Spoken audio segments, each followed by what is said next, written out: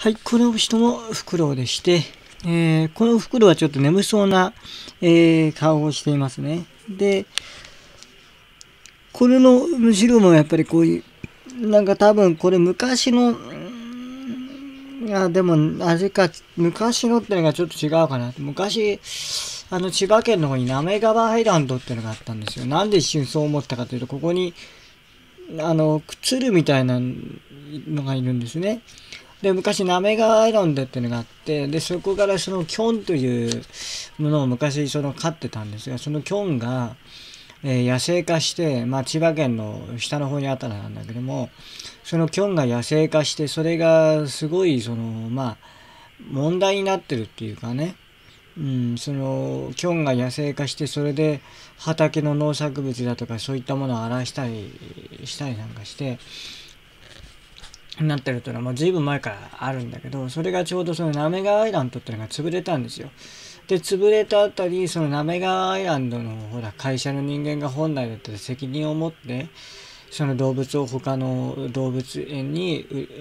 売り渡すのか、あるいはどっか海外のもっと広いね、えアフリカとかまあそういったとこに行って、まあそこでその野生化を担うためのするような活動をしたりとか、まあそういうことだって決してできなくはないと思うんですよね。だけどそれをあんまりそういったことをあんまりしなかったので、じゃあ私あの、滑川アイランドが潰れた時にあの鶴はどうなったんかなと思ったんですよ。毎年も何回も行ったことがあって、で、12歳ぐらいだったかな、その時に行ったこともありますけど、その時からもう5歳、4歳ぐらいの時から行ったことあるんだけども、あの、鶴がこうダンスを見せるところがあったんですよ。ナメガアイランドの一つの、あの、鶴、鶴じゃないや、鶴に似たピンクのやつでね。で、あの人たち一体どこ行ったんだろうなと思ったんですよ。だってあの人たちはほら、ナメガアイランドが潰れたことによって、その、まあ人じゃねえというツッコミ合いとしてですね、あの、あんだけ楽しそうにね、踊ってたのに、で、それでお客さんから、ね、お人間からお金を取って、で、そのお金を取ったお金で、あの人たちのご飯代として、まあ、食べていたわけじゃないですか。ところが、その名前がアイランドが潰れてしまったし、じゃあの、鶴系の人っていうかね、まあ、そういうのが一体どこに行ったんだろうと思ったわけそしたら、あの、いつだか前にニュースでしたのが、宮崎だったか福島だったか忘れてたんだけど、まあ、そこら辺あたりの東北の、えー、動物園かなんかに買い取られたんだと。で、それで、そこから滑川アイランドから、さらにその遠いところにある、あの、宮崎県かなんかにこう買い取られたっていう、宮崎だったか福祉だったか、まあ、東北の方に買い取られたって、あ、それは良かったなと思ったんですね。うん。だから、それだけ、だからあの、滑川アイランドってのは本当は一時期60万人ぐらいすごい数の人がね、見てたりなんだりしてたんだけども、時代がだんだんだんだんね、下っていくにつれて、なかなか人手がいなくなって、で、あそこは本当その滑川アイランドが立ってるとこっていうのは場所が場所だけにやっぱりすごくその、なんていうのかな、千葉県の中でもちょっとこう奥まったところっていうかね、のとこなんですよ。だから今だったら、そのアクアラインがあるし、アクアラインから、まあ、茂原というところがあるんだけど、まあそこまで行って、で、そこのインターチェンジで降りて、まあそこからだって随分、3時間か4時間ぐらいかかるんじゃねえかね。結構かかりますけども、まあ早くて2、3時間かなと思うけど、まあかかったりとか、あとはしますし、あとは立山の方から今高速道路が伸びてるから、まあアクアラインから来て、あるいは横浜、東京から来て、えー、そこから今度は立山の方までずーっと走って、で、立山の方から高速が終わりなんで、そこからずーっとその南下して、えー、まあ今、とうに潰れましたけど、ナメガアイランドのところまで行くと。まあそこまで行くのだって相当時間かかるんだけど、なんせ場所も場所だけでやっぱりすごい時間かかるんですよ。あの、御宿より遠いし、勝浦よりもさらに遠いとこなんですね。だから、あの非常にちょっとあの次の地域にしては申し訳ないけど、非常にちょっと車で来るのもちょっと億劫というか、電車で来るにもかなり時間がかかるようなところ。だから要はあそこに60万人という昔そんなすごいたくさんの人たちがひっきりなしに見に来たなって感じで。まあ、あそこの場合は、場所は駅は、一応駅は無人駅で残ってるんだけど、昔と変わんない無人駅でね、無人駅で残ってんだけど、ただやっぱりあそこが潰れて随分経つんだけど、まあ聞いた話や最近の話では、あそこになんか老人ホームが買い取って、で、老人ホームがナメガアイランドの場所にその立つということがま決まってるらしいですね。ただ世の中にはその不届き者っていうのがいて、その、なんていうんですかね、あそこのナメガアイランドがほら、すごい無残なありさまになっちゃって、で、そのなんか廃墟マニアみたいなのがいるんですね。で、そういう人が勝手に、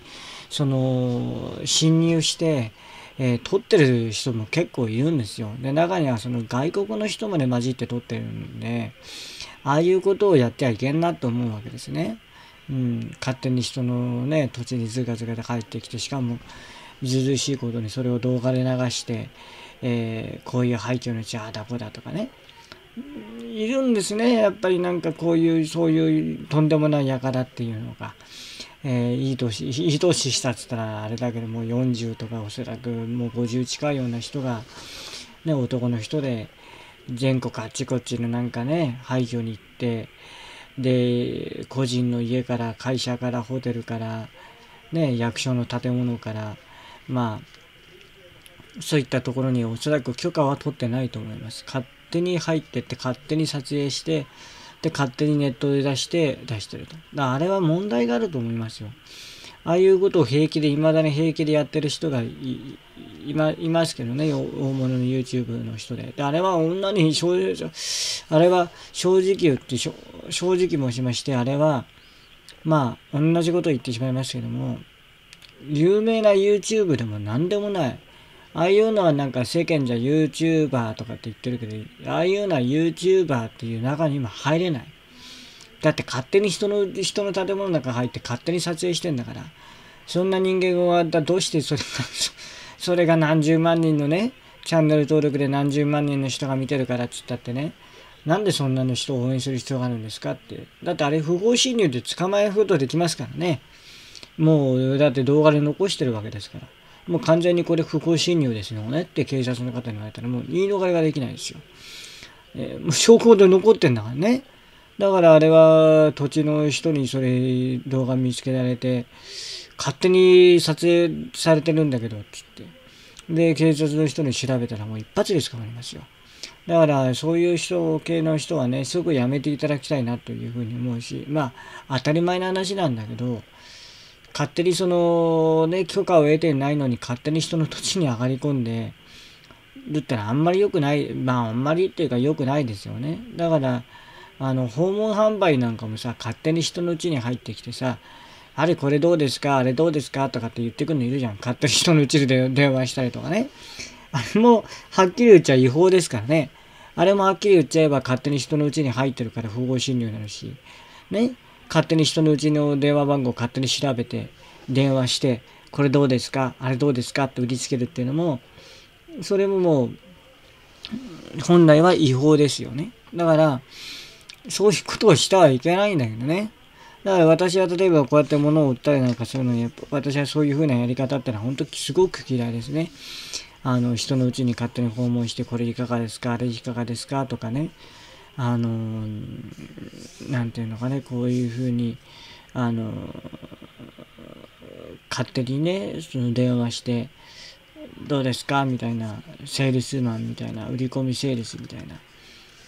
私はああいうのは好きではない。うん。例えば12回それ初めて人のうちに行って12回程度でもちろん許可を得てね許可を得てですよ。あの人たちは大体許可を得ないで勝手にやるから、許可を得て、1、2回程度でだったらいいかもしれないけど、それだって許可を得てる人も何十回も何回もやったら、その人のほら、生活がかかるしね。それこそその人が、別にそれを買うには別に苦ともしてないし、まだ頼みますよっていうんだったら話は別だけど、そうじゃないのにやるってのはあんまり好きじゃないね。だから私なんかそういうふうに、訪問販売なんかもすごいそっけなく、はい、忙しいですって言って、プチって、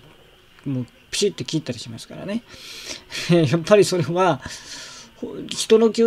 の、勝手に人のうちを調べて、勝手に無作に電話かけて、えー、許可もしてないものをいらないものを売りつけると。こういう商売ってのはそんなのは商売人にやることではないし、勝負、商売をすることに自信がないからそんなくだらないことをやるわけでしょ。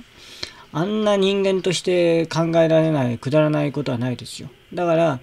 あのー、なんて言うんですかね、そういったのは私はあんまり好きではないなというふうに思いますけどね。うん、というわけで、まあ今回このフクロウなんですが、まあこれ非常によくできてるんですね。ここのところなんか見てると、この木の、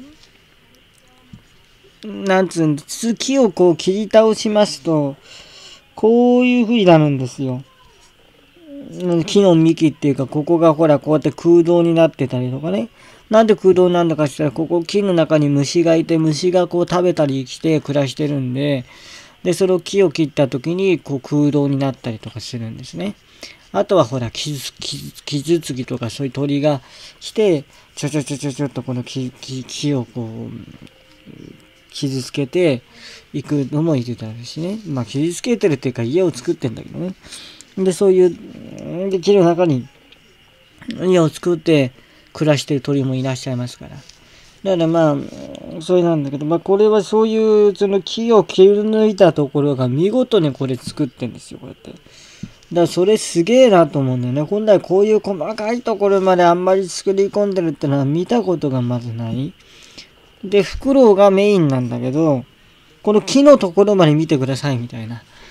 そういうものを作れるって素晴らしいなと私はそう思うんですね。で、これはこれでなかなかいいなっていう感じで、えー、これはこれでま気に入っている、えー、ものの一つだなというふうに思います。まあこれもね、えー、ぜひオークションでま買っていただけるとありがたいなって感じでございます。どうもありがとうございました。